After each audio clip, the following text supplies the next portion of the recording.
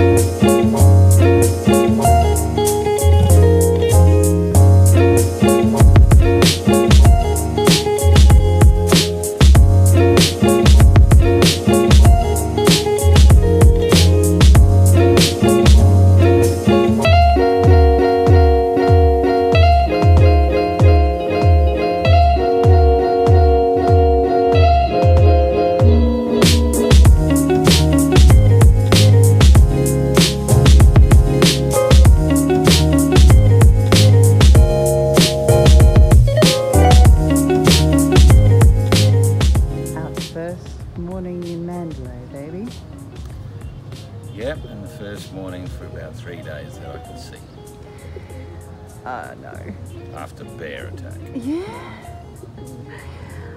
Thankfully, we can't actually see your red eye at the moment. I can just more see silhouette and this amazing, beautiful view. I heard a few people say that this was the best view in Mandalay, and I think they're definitely right. It's pretty spectacular. So we arrived here yesterday about one o'clock, but basically went straight into the room and put uh, Mr. Greg to bed. And thankfully, he's woken up this morning and actually been able to open his eye after being clawed by our teddy bear demon child. Selling him. Anyone want a bear? Just come upstairs to the rooftop check out the uh, infinity pool, which is fantastic. Have a look at it. Great hotel, great view.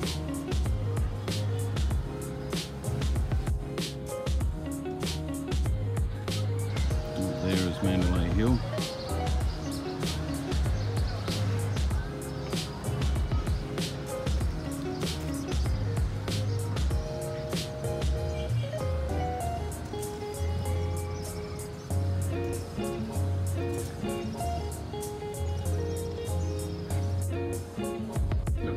Little bar set up here.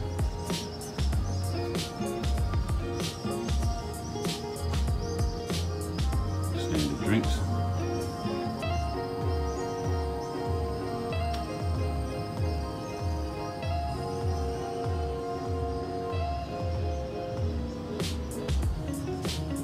Little changing shower booths.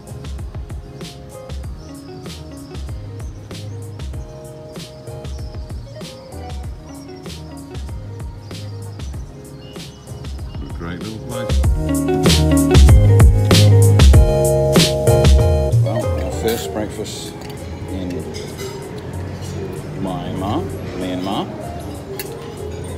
and we're in. Hotel Yadanarbon, That's the one. which Yadanabon was the old name for Mandalay. Hmm. So, nothing wrong with the food. It's not particularly Burmese, but not really brave enough to eat the Burmese food off the street just yet. We've only just arrived and we don't need any issues just yet. No, so I've just got my side back. Which has been a bit of a drama. But a bit of a slow day today, probably. Yeah. Relax around the pool.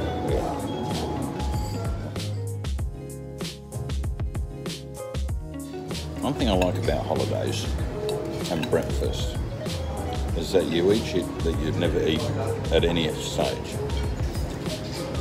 Like what? Well, noodles and vegetables and Noodles. potato gratin. We eat noodles and vegetables at home. Yeah, but this sort of stuff.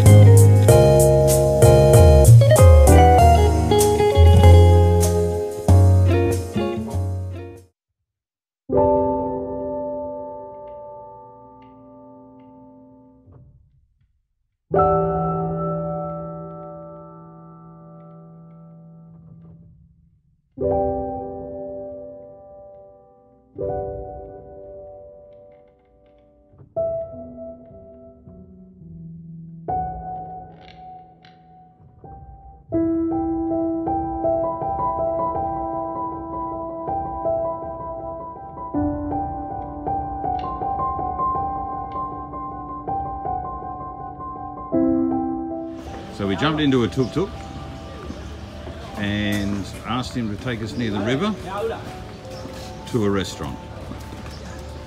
And this is where we've pulled up.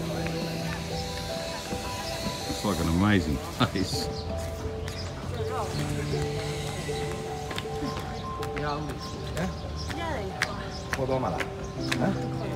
We got our message through that we wanted lunch on the river, and uh, thank you very much. And it's um, paid off. We are on the river on a boat One of these. made into a restaurant hotel. Yeah. Well, I don't know what about the hotel part, but yeah, it does say hotel. It's um, I have to take photos or post in some photos here of the awesome, awesome boat, ship, whatever it is that we're on. I don't know whether I don't even know whether it moves. Actually, it might just be permanently moored. I think it's permanent. And here is the Irrawaddy. So, We managed to order stuff from the menu that had very sparse English. There was things like special burn taste. So we have this giant floating hotel ship thing restaurant. all to ourselves because I think that's not open yet, but they let us in anyway. So how cool is this?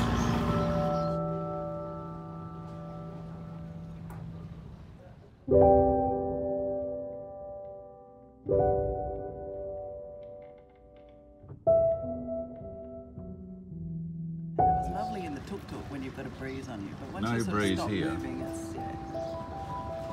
But here we are on the Irrawaddy. Looking great. Hello. Our wonderful waitress. I'm probably all red because I've been drinking beer. Beer's free flowing here, apparently.